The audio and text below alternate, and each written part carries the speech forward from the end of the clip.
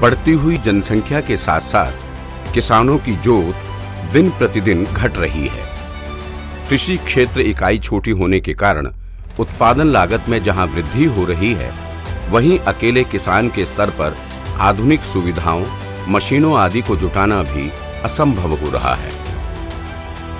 इस परिस्थिति में ये आवश्यक है कि किसानों के समूह अथवा किसान उत्पादक संगठन बनाए जाएँ, जिससे वे सामूहिक तौर पर कृषि के लिए आवश्यक इनपुट्स मशीनों आदि का प्रबंध करके कृषि लागत को कम कर सकें, तथा अपने उत्पादन का सीधा विपणन करके अधिक मूल्य प्राप्त कर सकें।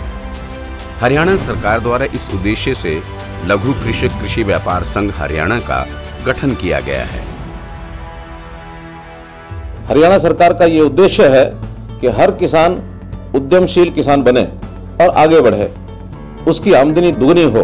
वर्ष 2018-19 में परिवर्तन कार्यक्रम के तहत 460 एफपीओ बनाने का निर्णय किया गया। सफ़ेद के साथ कृषि एवं संबंध विभाग, जैसे कृषि, बागवानी, पशुपालन और मछली पालन आदि जुड़े हुए हैं। सफ़ेद के मुख्य उद्देश्य फ़सल समूह बनाना, उन फ़सल समूह में एफपीओ का गठन करना, फ़सल प्रबंधन के लिए आवश्यक सुविधाएँ एवं संरचनाएँ उपलब्ध करवाना, एफपीओ को कृषि बाज़ार से सीधा जोड़ना।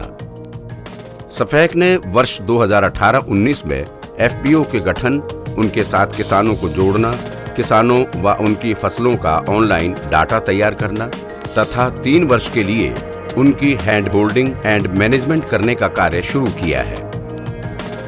प्रधानमंत्री जी का जो लक्ष्य है देश के किसानों की आमदनी बढ़ाना है, उसमें हरियाणा जो है अग्रणी प्रदेश होगा और हरियाणा के किसानों की आमदनी बढ़ाने में ये योजना सहायक सिद्ध होगी। हमारे माननीय प्रधानमंत्री श्री नरेंद्र मोदी जी ने पिछले बजट में पूरे देश में दस हज़ार एफ़ बनाने का लक्ष्य रखा था। हरियाणा में इस काम में बहुत प्रगति की है। सफ़ेद में अमले के तौर पर एक मैनेजिंग डायरेक्टर एक संयुक्त निर्देशक और पाँच कंसल्टेंट्स का दल मुख्यालय पर कार्यरत है तथा किसानों के साथ सीधे कार्य करने के लिए उनतीस कोऑर्डिनेटर हैं जिनमें कुल 22 लोग सभी 22 जिलों में तथा सात लोग राज्य के सभी क्लस्टरों में तैनात हैं। हरियाणा राज्य में 31 मार्च 2020 तक चार सौ बावन एफ़ की स्थापना की जा चुकी है। हरियाणा, जिसमें बागवानी, कृषि, दूध, मछली पालन के अन्य एफपीओ शामिल है और वर्ष 2022 तक इस संख्या को 1000 तक पहुँचाने का लक्ष्य है। मुझे ये बताते हुए बड़ी खुशी की बात है कि हरियाणा में तीन सौ तिरानवे क्लस्टर हमने बागवानी के चुने हैं। आज के दिन 400 से ज़्यादा हम फार्मर्स प्रोड्यूसर ऑर्गेनाइजेशंस बना चुके हैं। यह एफ़ पी ओज आज के दिन आगे बढ़ते हुए इंटीग्रेटेड पैक हाउसेस भी अब लगाना शुरू कर चुके हैं। हम आशा करते हैं आने वाले साल, दो साल में 400 इस तरह के इंटीग्रेटेड पैक हाउसेस हमारे हरियाणा में शुरू हो जाएँगे। किसानों की जो आमदनी है, वो भी कई गुना बढ़ेगी और मार्केट फोर्सेस और मार्केट के स्पेशलिस्ट भी किसानों की मदद करते हुए आशा करते हैं कि आने वाले समय में हमारी ये बागवानी की क्रांति चारों तरफ़ फैलेगी और किसान बहुत प्रसन्न होगा। नवनिर्मित 210 एफपीओ में से पैंसठ एफपीओ के 1150 अग्रणी किसानों की तथा इन्हीं एफपीओ के 50 बोर्ड ऑफ़ डायरेक्टर का प्रशिक्षण एवं भ्रमण कराया जा चुका है। इन एफपीओ के पिछहत्तर हज़ार पाँच सौ इक्यासी किसान सदस्यों का सूचना संबंधित डाटा एफपीओ पोर्टल पर अपडेट किया जा चुका है। तथा इस वर्ष एक लाख किसानों की सूचना का डाटा इस पोर्टल पर डालने का लक्ष्य है। किसान भाई स्वैग की वेबसाइट पर एक एफपीओ के निर्माण की प्रक्रिया जानकर ऑनलाइन भी आवेदन भेज सकते हैं, जिससे एफपीओ के गठन में समय की बचत होगी। स्पैक किसानों की हैंड होल्डिंग के लिए तीन सालों तक कटिबद्ध है, जिसके लिए एक एफपीओ को पहले स्पैक के साथ जो कंपनी एक्ट में रजिस्टर्ड हो चुकी हो, उस एफपीओ को सूचीबद्ध होना अनिवार्य है। सूचीबद्ध होने के लिए एफपीओ अपने जिला परियोजना, समन्वयक के माध्यम से या सीधे मुख्यालय पर अपना आवेदन देना होता है, जिसके मुख्य दस्तावेज़ हैं स्वैक से जुड़ने के लिए एफपीओ का आवेदन पत्र, भरा हुआ नामांकन फॉर्म इनकॉर्पोरेशन सर्टिफिकेट एफपीओ के मेमोरेंडम ऑफ़ एसोसिएशन और आर्टिकल ऑफ़ एसोसिएशन की कॉपी बैंक अकाउंट पासबुक की कॉपी एफपीओ से जुड़े किसानों की सूची। 200 से 1000 किसानों तक 8 लाख से 40 लाख रुपए तक की हैंड होल्डिंग का प्रावधान इन सुविधाओं के अंतर्गत है। जिसमें एफपीओ के मोबिलाइजेशन अग्रणी किसानों का प्रशिक्षण एवं भ्रमण, एफपीओ के बोर्ड ऑफ़ डायरेक्टर्स का प्रशिक्षण एवं भ्रमण, स्थानीय संसाधन व्यक्ति का मेहनताना, कृषि प्रदर्शन, एफपीओ की रजिस्ट्रेशन फ़ीस व लीगल क्लियरेंस एफपीओ के ऑफ़िस व बिजली के बिल का भुगतान कंप्यूटर व फर्नीचर इत्यादि का भुगतान। शेयर पूंजी अनुदान दिया जाता है। अब तक पैंसठ से अधिक एफपीओ की हैंड होल्डिंग की जा चुकी है।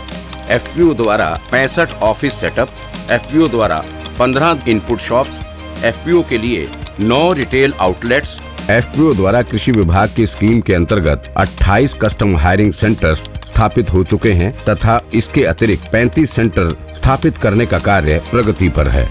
एफपीओ के लिए मार्केटिंग बोर्ड की मदद से पाँच मंडियों में बिक्री हेतु स्थान उपलब्ध करवाए जा चुके हैं। एफपीओ के प्रमोशन हेतु राज्य में चलाए जा रहे कार्यक्रमों का विवरण इस प्रकार है। हरियाणा राज्य सरकार द्वारा 510 करोड़ रुपए की लागत से एक फ़सल समूह विकास परियोजना के नाम से एक योजना कार्यान्वित की जा रही है। जिसके तहत अब तक सत्रह गाँवों में से तीन सौ तिरानवे बागवानी फ़सल समूहों की मैपिंग की जा चुकी है। इन समूहों की मुख्य फ़सलों के क्षेत्र व पैदावार संबंधी डाटा खंड और गाँव के अनुसार डिजिटाइज किया जा चुका है।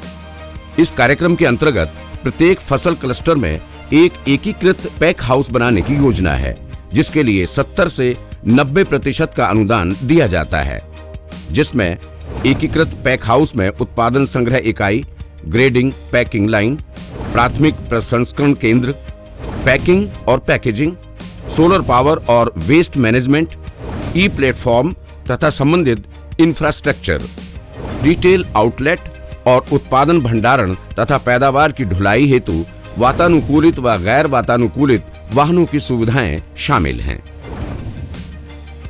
इस परियोजना के तहत 25 किसानों के एफपीओ से लेकर 200 या इससे अधिक किसानों के एफपीओ 20 लाख से 6 करोड़ रुपए की लागत के एकीकृत पैक हाउस स्थापित करने के लिए पात्र हैं। एफपीओ अपने क्लस्टर की फ़सलों की पैदावार के मद्देनजर प्रोजेक्ट के लिए आवश्यक पैक हाउस का क्षेत्र, मशीन तथा उसकी कीमत से संबंधित जानकारी स्पैक पोर्टल पर www.spackhariana.org.in पर ऑनलाइन प्राप्त की जा सकती है। विशेषज्ञों की टीम द्वारा गहन अवलोकन के उपरांत उचित प्रोजेक्ट की सलाह उपलब्ध कराई जाती है तथा स्वैक एफपीओ को आशय पत्र जारी करता है। एफपीओ विस्तृत रिपोर्ट तैयार करता है। जिसका कमेटी द्वारा आंकलन उपरांत अनुमोदन किया जाता है। इसके बाद एफपीओ को प्रोजेक्ट रिपोर्ट की स्वीकृति जारी कर दी जाती है। एफपीओ अपने प्रोजेक्ट स्थापना के दौरान मुख्य चार किस्तों में अनुदान राशि लेने का पात्र है जो क्रमशः 25, 40, 25 और 10 प्रतिशत होती है। ये राशि संयुक्त निरीक्षक टीम द्वारा प्रोजेक्ट के निरीक्षण के बाद ही जारी की जाती है। हरियाणा सरकार का अगले तीन वर्षों में लगभग 400 पैक हाउस बनाने का लक्ष्य है। अभी तक ऐसे तीन पैक हाउस बनकर तैयार हो चुके हैं।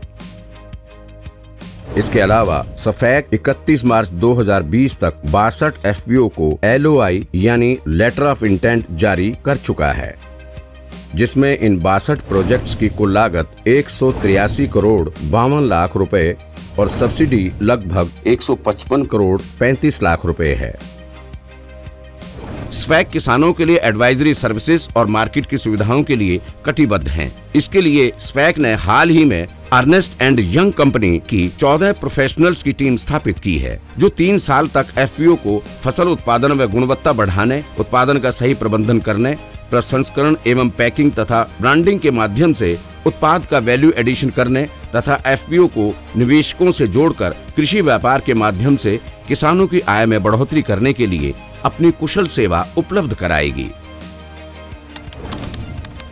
जिसमें टीम लीडर के अलावा अन्य प्रोफेशनल शामिल हैं। स्वैक के एक्सपर्ट अपनी क्लस्टर में जाकर एफपीओ को गाइड करते हैं। फिर भी यदि कोई किसान या एफपीओ किसी प्रकार की जानकारी लेना चाहता है तो मुख्यालय पर स्वैक कार्यालय में संपर्क कर सकता है। इन सुविधाओं के कारण किसान सीधे कृषि बाज़ार से जुड़कर उपयुक्त दामों पर अपने उत्पादन को बेचने में सक्षम हो रहे हैं। इन सुविधाओं से जहाँ बागवानी को बढ़ावा मिलेगा, वहीं किसानों की आय में भी अद्भुत वृद्धि होगी। हम उस दिशा में बढ़ रहे हैं, जो कि हमारे माननीय प्रधानमंत्री जी और माननीय मुख्यमंत्री जी और हमारे कृषि मंत्री जी का भी ये लक्ष्य है। ये सपना है कि हमारे जो किसानों की आय दुगनी हो। इसको हम ना केवल 2022 तक दुगना कर पाएँगे, बल्कि 2023 तक हम इसको तीन गुना तक ले जाने का हमारा टारगेट है और हमें उम्मीद है कि हम इसमें पूरा खरा उतरेंगे और पूरा कर पाएँगे। अपने इन्हीं उद्देश्य के माध्यम से स्पैक हरियाणा राज्य में कृषि जगत को एक नए स्तर पर लाने का प्रयास कर रहा है, जिससे वो अपने किसानों के कल्याण व भारत के नव निर्माण में अपना योगदान दे सकें।